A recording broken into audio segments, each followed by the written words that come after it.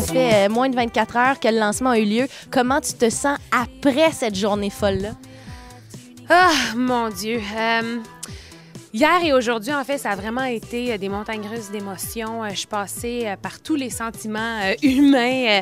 hier, j'étais zen, au fond. Quand je suis arrivée dans la salle, je me suis promenée partout, j'ai fait le tour, j'étais allée sur la scène. Même deux minutes avant le spectacle, j'étais comme, a pas de problème. Je prends mon micro, j'embarque, je vais me placer. J'étais comme vraiment en pleine possession de mes moyens. Je me mets le micro, puis je me lève la tête, puis je vois le monde, puis j'ai comme... C'est comme toute ma préparation mentale est comme a pris le bord. Là, tout d'un coup, c'est comme si c'était mon premier spectacle, c'était mon premier lancement. J'avais jamais vécu ça. Euh, je me sentais vraiment comme une, débutante, tu sais. Puis j'avais jamais vu ça, mais autant de monde dans un lancement. Fait que ça m'a vraiment pris de court. Deux minutes avant le show, je disais, il va y avoir du monde, tu penses? Y des gens dans la salle? Je les entends pas. Puis, euh, fait que non, c'était vraiment. Euh, c'est une performance vraie, je pense, avec avec des vraies émotions. Je pense pas que c'était le show du siècle, mais c'était quelque chose de senti. Parlons-en des gens qui se sont déplacés pour ton lancement. Moi non plus, j'ai euh, jamais vu autant de monde pour un lancement et surtout beaucoup, beaucoup de monde du public, plusieurs de tes fans également qui étaient très, très, très bruyants, euh, puisqu'on t'attendait avec impatience, évidemment. Euh, pour qui tu chantes dans un lancement? Tu chantes pour les fans, tu chantes pour le public, pour, pour les médias, pour tes amis, pour ta famille, pour ton chant, tes musiciens? Comment ça se passe dans ta tête de gérer tout ça? Je chante pour les gens qui aiment ce que je fais. Que ce soit des amis, que ce soit de la famille, que ce soit du public, que ce soit des médias. Euh, moi, je fais de la musique parce que c'est ma passion, puis je veux la transmettre aux gens qui aiment ça.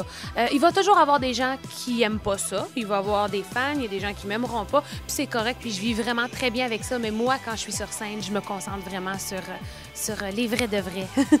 Tes euh, chansons sur le nouvel album, 12 chansons complet, comment s'est passée la sélection pour ce que tu allais faire au lancement, ce que tu allais laisser de côté pour la soirée d'hier soir? Ah, c'était difficile. C'était vraiment difficile parce qu'il y a plusieurs chansons vraiment différentes sur l'album. Puis on se dit, ah, est-ce qu'on met une balade? Ah, non, pas nécessairement une balade, mais qu'est-ce qu'on met? Est-ce qu'on met des chansons qui sont un peu plus électro? Parce qu'il y en a des plus électro, il y en a des plus rock aussi.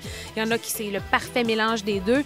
Donc, euh, ça a été euh, vraiment difficile. Puis je les aime, les chansons en plus. J'ai de la misère à m'en départir. Puis, euh, mais en bout de ligne, je pense qu'on a fait un bon choix. Je voulais que ça déménage, je voulais que ça soit rock, puis ça fasse bouger les gens. Puis, en tout cas, hier, ça avait l'air de bouger en masse. ton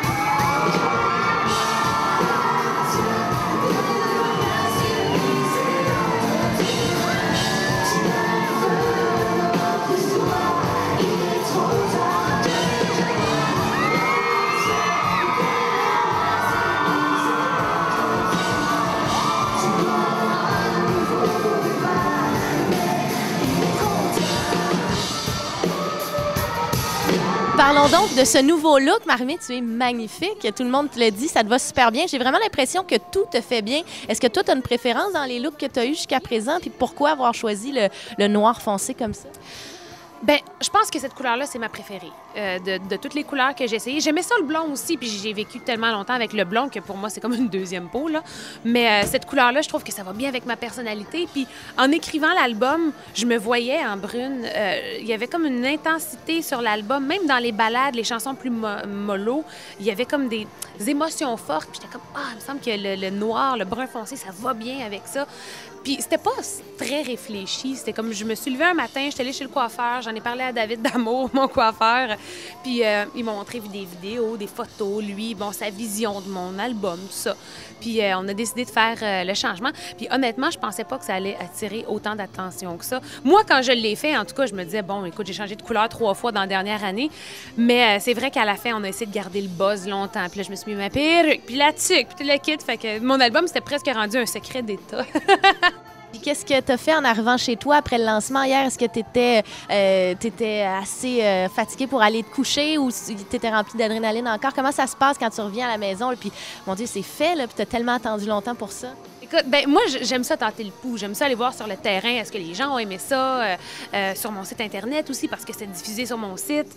Puis euh, j'ai fait le tour. Puis c'est le fun. Ça fait du bien de savoir que les gens ont aimé ça. Puis si les gens qui ont moins aimé ça, pourquoi ils ont moins aimé ça? donc, non, moi, j'ai vraiment, vraiment trippé. Puis la réaction était super positive. Puis après ça, j'ai essayé de dormir, mais j'ai pas dormi avant deux heures du matin.